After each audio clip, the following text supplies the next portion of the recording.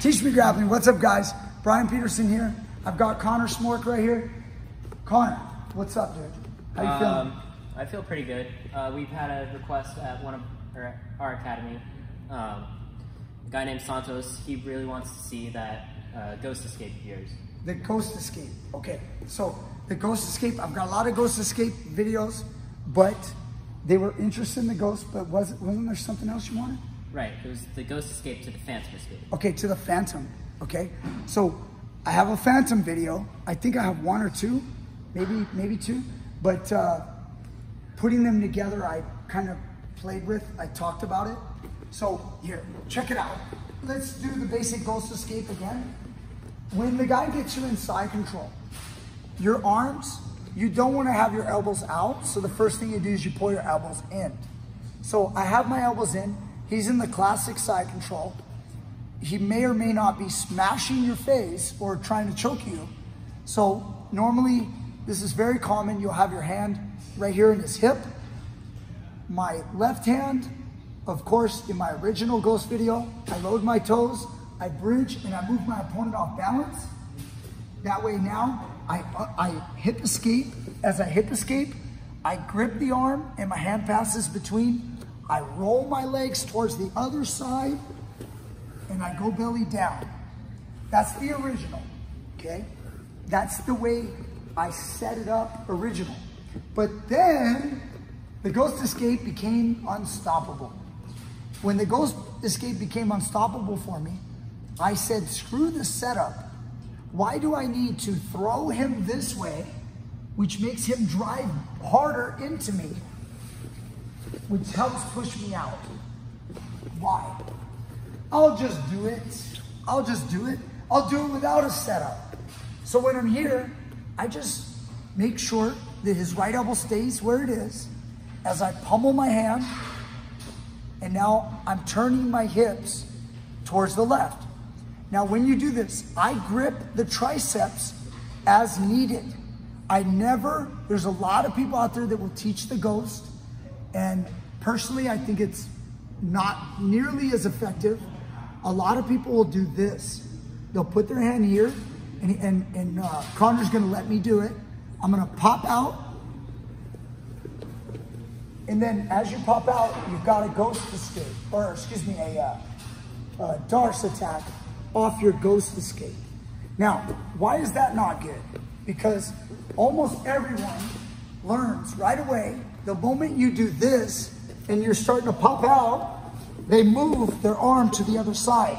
So even if your head comes through, you're now caught in north-south. So you, with the north-south position, you're not able to make the, the ghost escape effective. So I never do that.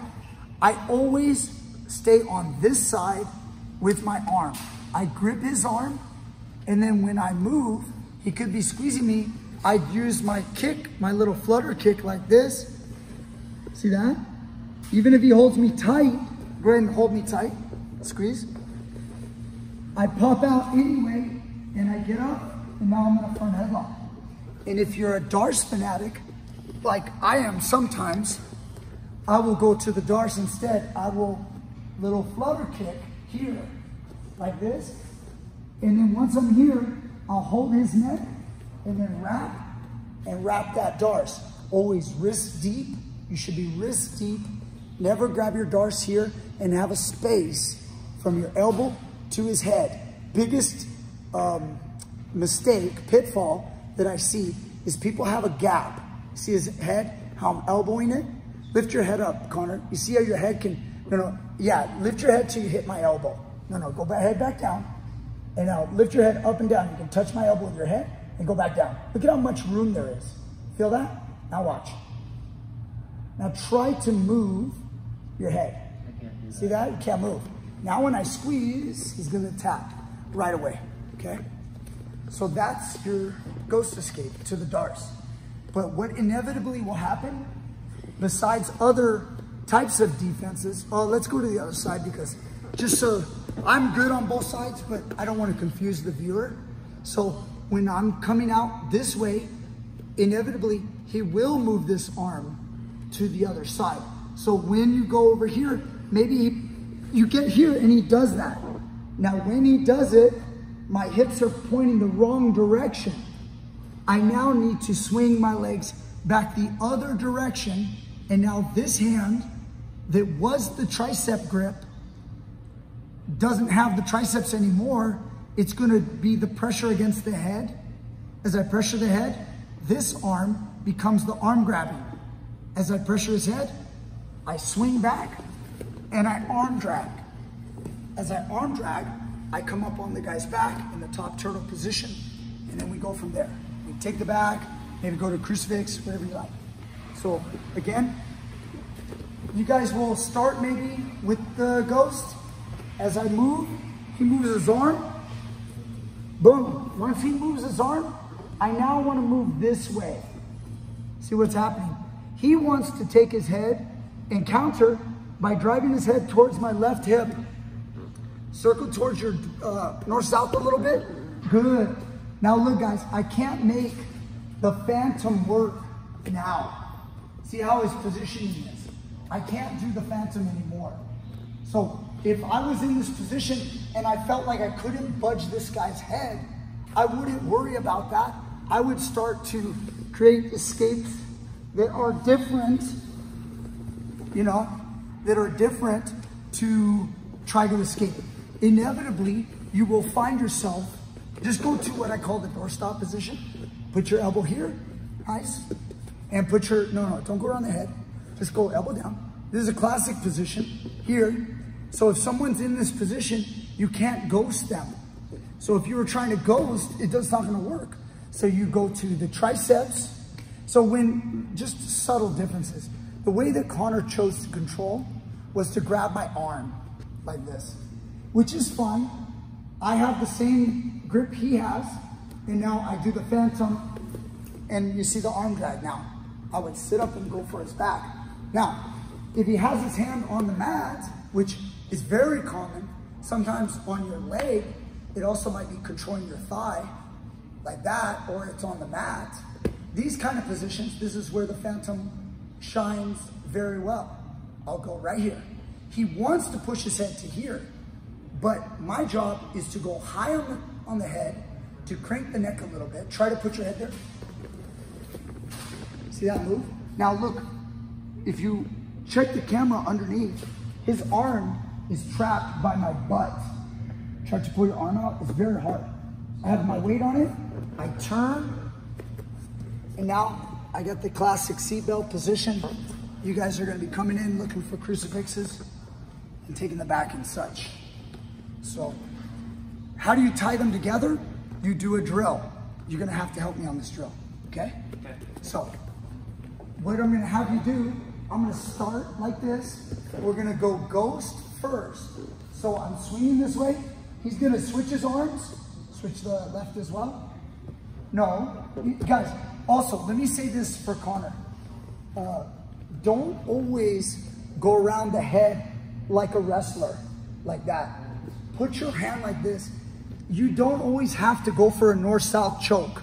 You don't always do that. Sometimes if you go for the north-south choke, like this, I can go here and roll you over. You understand? So you wanna make sure that you have good balance. This is a much safer position for your arm. If I were to try to roll you, your hand could just spread your hand. Yeah, yeah, but pull your elbow in. Just like that, look. See how I can't like, I can't like roll you. But if you go around my neck, see how I hit, hit you there? So it doesn't mean that you're gonna get rolled all the time. Obviously, there's a north-south choke there. But what I want is I just want you to learn basic controls. Now, so now he switched to this position. So now look what I do. I grip here, I go here, I move, and I come towards the phantom. How does he counter the phantom? He changes his right hand back to an underhook. Once he does that, I'm now coming back and towards a ghost to pop my head out, you see? But he switches to doorstop. Yes, I swing back. See how I'm popping out on the phantom? Now you're gonna come back for the underhook. He puts me back down. You see how that works? Now bring your right arm over my body. Before, yes, now put me towards my back. You see that? And and I come out this way. One more time, get your underhook. Put me down on my back. You see? And it feeds back and forth, back and forth. And you develop this kind of, uh, it's like a buildup, like a momentum, like a swing. You know, the kid gets on the swing, you push him a little, he swings a little, you push him a little more, and he swings back and forth like a pendulum. And eventually, it's so much, something's gonna happen. Something will happen. Just remember, just wait long enough and something will happen. You wanna try it really quick? Let's go. I have horrible jokes.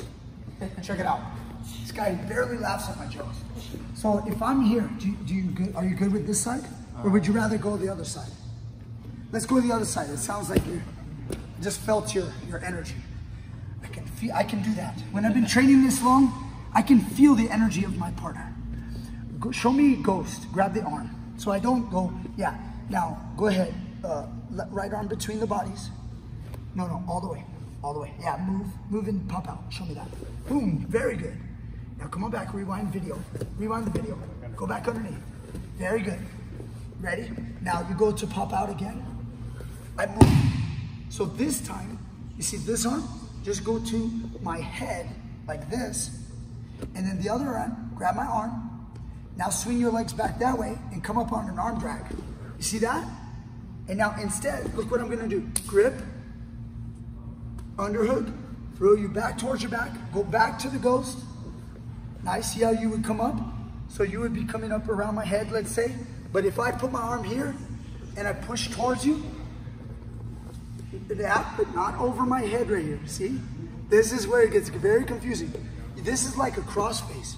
You cross face my head that way, and you arm drag me. Go. Yes. Okay? So that's gonna be for you to practice. Okay? Now you guys, you guys gotta do the same thing as Connor. Gotta go practice. All right? Thank you guys so much. Share, like, subscribe. If you guys haven't subscribed to this channel, why not? Okay? Um, I got nothing else. If you want to contribute to this channel, we can do that through Patreon or PayPal. We've got the links down below in the description box. And if you want to be a part of our YouTube membership, just to help, you can you guys can donate, become a part of our membership, and uh, I'm always going to give you guys the good stuff. All right? Thank you guys. I'll see you guys next time with more great stuff. Did I just say good stuff? And then I said more good stuff.